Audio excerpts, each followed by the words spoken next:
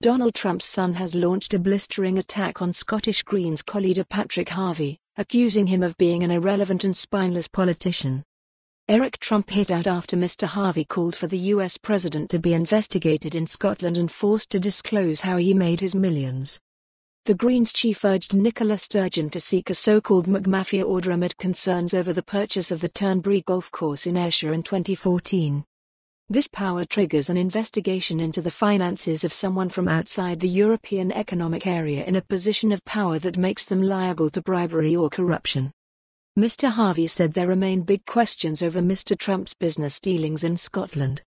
He said, the purchase of Menie, estate, and the Turnberry Golf Resort were part of Mr. Trump's huge cash spending spree in the midst of a global financial crisis, while his son was bragging about money pouring in from Russia.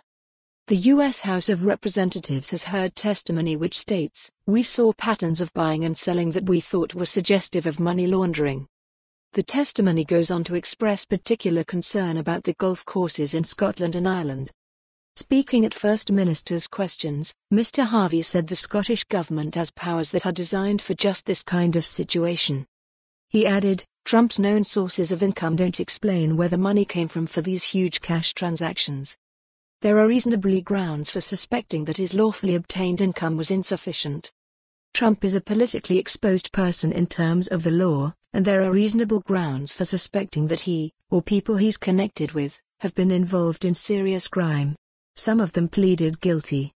Scottish ministers can apply via the Court of Session for an unexplained wealth order, a tool designed for precisely these kinds of situations. Eric Trump said the comments were disgusting, made without any supporting evidence, and reckless, irresponsible and unbecoming for a member of the Scottish Parliament. In a statement, he said, an irrelevant and spineless politician, Mr. Harvie has long expressed deep-seated animus toward the Trump Organization, its principles and its projects, making wildly inappropriate allegations to advance his own political agenda and gain attention.